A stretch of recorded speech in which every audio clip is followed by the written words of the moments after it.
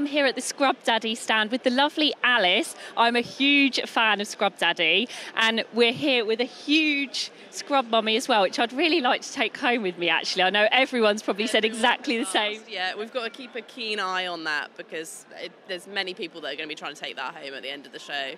People will be holding the Scrub Mummy ransom, I think, won't they? Wheeling it out the door. So, Scrub Daddy is an amazing brand. The stand looks incredible, Alice. And it's been busy for both days, really. Yeah, it's been really busy actually. It's been a surprise because it's been a long time since we've done a show like this, this kind of setup. Um, but it's been great. It's, yeah, doing really well. Um, and it's just so nice to see so many people that know and love the brand. It's always great. So, Scrub Daddy has, has mainly been in America, hasn't it? And then it kind of came over here and took the UK by storm. Yeah. And it has been amazing to see all of the newness that has been landing. I particularly love all like the seasonal scrub daddies, so um, the ones for Halloween and the ones for Christmas. Um, and I'm absolutely loving the dish daddy at the moment. I know lots of people are really liking that on socials. Yeah. Dish Daddy and Damp Duster have been our massive ones this year that, especially on socials, have just gone crazy. And yeah, in stores, like the seasonal ones always perform so well. But yeah, social platforms, Damp Duster and Dish Daddy are just the ones this year. And yeah, they've surprised us all at how crazy they've gone. But yeah. Um, thank you for coming to the event. It's been amazing to have Scrub Daddy here. Um, how have you found the actual event itself? Obviously, it's been great to meet with um, other brands and clean influencers and members of the public. It's been really nice actually, and I.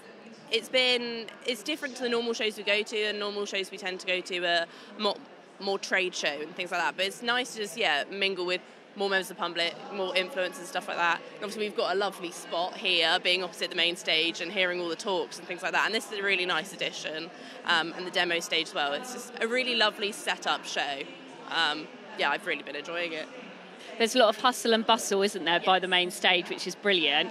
Um, and you've been selling product as well. How have you found that that's been going, Alice? That's been going really well. That was the one thing we weren't sure how it was going to go, how much stock we were going to have to bring, things like that, how many people were actually going to be wanting to sell. But yeah, it's been going really well, been flying through the stock. And there's a lot of things that we've got with us that are slightly harder to find in stores. So people have been so happy that they're here and they can stock up on them. So yeah, it's going really well. It's been great.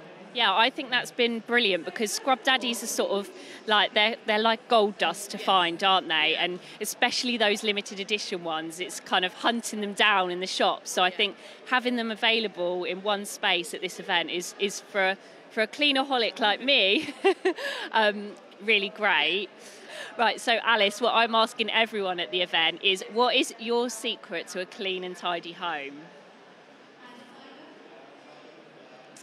Doing little and often is the only thing I can suggest because I am not a clean and tidy person naturally, and so the big cleans and things like that are just not for me. So little and often, each time I see a little bit, I'll do this corner, I'll do that corner. That's my tip. Oh, that's brilliant. Thank you, Alice. And I would love a Scrub Mummy apron. Are they available to purchase? They're, they're giveaway items, actually, so I can just go grab you one right now if you like. So, talk to us about the giveaway. How's, is that something you're doing for the event?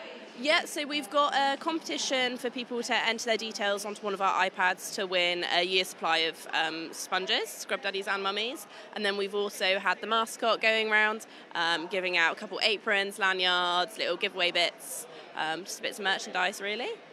Oh, that's brilliant. I think it's a great idea doing the giveaway because it means that you're um, adding to your, your database and your list of uh, customers, which is you know another great advantage of the event and having that face-to-face interaction. Yeah, it is. It's exactly that, and it's just great to yeah just record people that might not have stumbled across our website or ever signed up to newsletters and things like that. And this way, we get their details, and then we can keep them updated on everything new that's happening as well.